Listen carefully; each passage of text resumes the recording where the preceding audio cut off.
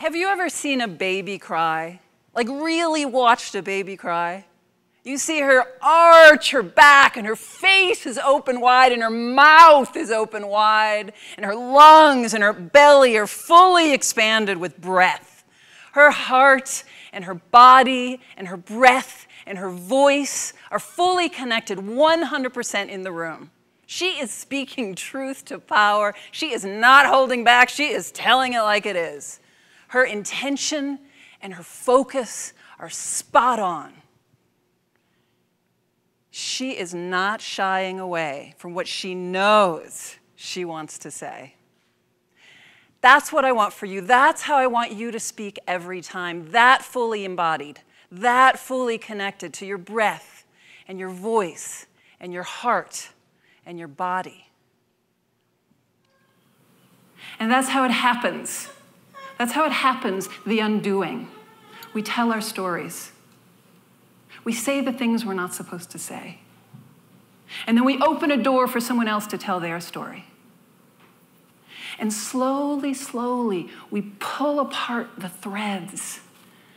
We pull apart the threads of the knot, the knot, and we untie the knot that keeps us silent and alone. I discovered that my story of silence was part of a much bigger story of women and silence, women and speaking. And that in fact there were generations of women standing behind me and beside me who I was speaking with and in some cases for.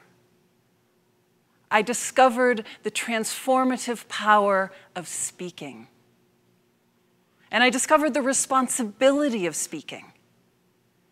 I needed to speak, not just for my own liberation, but for the liberation of all women, for the liberation of all people. Every voice that comes out of hiding, every voice that comes out of hiding contributes to that story of liberation, to the liberation of all of us. So, as it turns out, I did have something to say. And right in the middle, right in the middle of the deepest, deepest wound was the most glorious, stunning treasure. And right in the middle of that big, empty talk bubble was the thing I had to stay my story. When you show up on stage that connected to yourself, that connected to your breath and your body and your heart and your voice, that's when people lean in. They say, Who's that? I want what she's having. I'm following her. When you speak from that place, that's when you move audiences to action. That's when real human to human, heart to heart connection happens. And with that kind of connection, anything, I mean anything, is possible. Story creates a container in which we can bear what feels unbearable.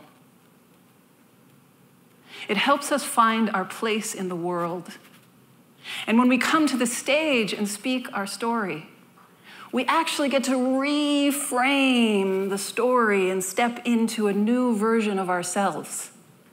And we get to rewrite the big story of what's possible for women the big story of women, of who we are and who we get to be. So I call you tonight. I call on you tonight to tell a story. And tell a hard one. Tell the one you've been keeping under wraps. We are edge walkers here tonight. So tell the one that takes you to the edge.